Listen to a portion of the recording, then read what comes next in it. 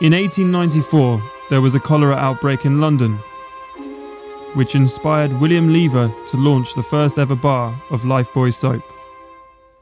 Lifebuoy is a brand built on the principle of saving lives in the most difficult of emergency settings, and this social mission commitment still inspires the work we do today.